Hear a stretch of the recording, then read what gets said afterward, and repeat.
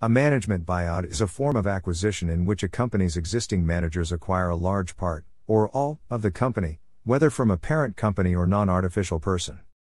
Management and or leveraged buyout became noted phenomena of 1980s business economics.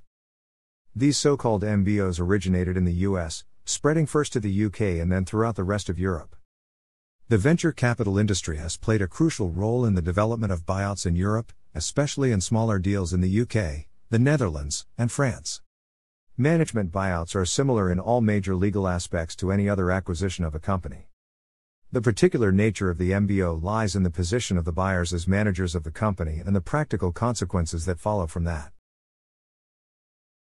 In particular, the due diligence process is likely to be limited as the buyers already have full knowledge of the company available to them.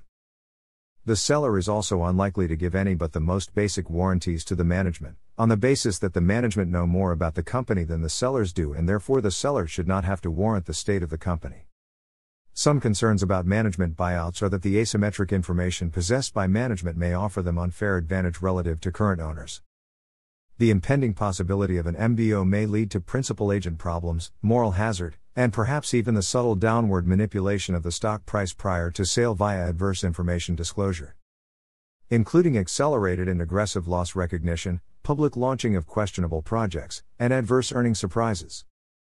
These issues make recovery by shareholders who bring suit challenging the MBO more likely than challenges to other kinds of mergers and acquisitions. Naturally, these corporate governance concerns also exist whenever current senior management is able to benefit personally from the sale of their company or its assets. This would include, for example, large parting bonuses for CEOs after a takeover or management buyout. Since corporate valuation is often subject to considerable uncertainty and ambiguity, and since it can be heavily influenced by asymmetric or inside information. Some question the validity of MBOs and consider them to potentially represent a form of insider trading. The mere possibility of an MBO or a substantial parting bonus on sale may create perverse incentives that can reduce the efficiency of a wide range of firms, even if they remain as public companies. This represents a substantial potential negative externality. The managers of the target company may at times also set up a holding company for the purpose of purchasing the shares of the target company. Management buyouts are conducted by management teams as they want to get the financial reward for the future development of the company more directly than they would do as employees only. A management buyout can also be attractive for the seller as they can be assured that the future standalone company will have a dedicated management team, thus providing a substantial downside protection against failure and hence negative press. Additionally, in the case the management buyout is supported by a private equity fund, the private equity will, given that there is a dedicated management team in place, likely pay an attractive price for the asset. The management of a company will not usually have the money available to buy the company outright themselves. They would first seek to borrow from a bank, provided the bank was willing to accept the risk. Management buyouts are frequently seen as too risky for a bank to finance the purchase through a loan. Management teams are typically asked to invest an amount of capital that is significant to them personally, depending on the funding source slash bank's determination of the personal wealth of the management team. The bank then loans the company the remaining portion of the amount paid to the owner. Companies that proactively shop aggressive funding sources should qualify for total debt financing of at least four times cash flow. If a bank is unwilling to lend, the management will commonly look to private equity investors to fund the majority of buyout. A high proportion of management buyouts are financed in this way. The private equity investors will invest money in return for a proportion of the shares in the company, though they may also grant a loan to the management. The exact financial structuring will depend on the backer's desire to balance the risk with its return, with debt being less risky but less profitable than capital investment. Although the management may not have resources to buy the company, private equity houses will require that the managers each make as large an investment as they can afford in order to ensure that the management are locked in by an overwhelming vested interest in the success of the company. It is common for the management to remortgage their houses in order to acquire a small percentage of the company. Private equity backers are likely to have somewhat different goals to the management. They generally aim to maximize their return and make an exit after three to five years while minimizing risk to themselves, whereas the management rarely look beyond their careers at the company and will take a long term view. While certain aims do coincide, in particular the primary aim of profitability, certain tensions can arise. The backers will invariably impose the same warranties on the management in relation to the company that the sellers will have refused to give the management. This warranty gap means that the management will bear all the risk of any defects in the company that affect its value. As a condition of their investment, the backers will also impose numerous terms on the management concerning the way that the company is run. The purpose is to ensure that the management run the company in a way that will maximize the returns during the term of the backer's investment, whereas the management might have hoped to build the company for long term gains. Though the two aims are not always incompatible, the management may feel restricted. The European buyout market was worth 43 euros. 9 BN in 2008, a 60% fall on the 108 euros. 2 BN of deals in 2007. The last time the buyout market was at this level was in 2001 when it reached just 34 billion euros. In certain circumstances, it may be possible for the management and the original owner of the company to agree a deal whereby the seller finances the buyout.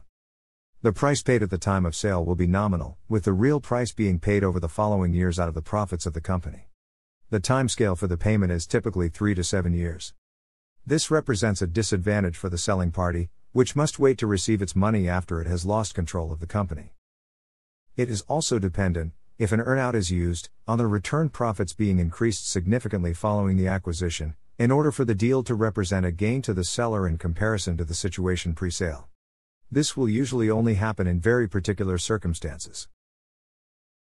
The optimum structure would be to convert the earnout to contracted deferred consideration, which has compelling benefits for the seller as it legally fixes the total future amount paid to them. It's paid like a quarterly annuity, and then the seller needs to secure the annuity by taking out a deferred consideration surety guarantee from an independent surety institution. The direct beneficiary of the surety is the seller, and should the sold firm become insolvent, following its sale, with any outstanding deferred payments to the seller then the surety will pay the money to the vendor on the purchaser's behalf. The vendor agrees to vendor financing for tax reasons, as the consideration will be classified as capital gain rather than as income. It may also receive some other benefits such as a higher overall purchase price than would be obtained by a normal purchase. The advantage for the management is that they do not need to become involved with private equity or a bank and will be left in control of the company once the consideration has been paid. A classic example of an MBO involves Springfield Remanufacturing Corporation, a former plant in Springfield, Missouri owned by Navistar, at that time. International Harvester, which was in danger of being closed or sold to outside parties until its managers purchased the company. In the UK, New Look was the subject of a management buyout in 2004 by Tom Singh, the founder of the company who had floated it in 1998. He was backed by private equity houses Apax and Permira, who now own 60% of the company. An earlier example of this in the UK was the management buyout of Virgin Interactive from Viacom, which was led by Mark Dyne. The Virgin Group has undergone several management buyouts in recent years.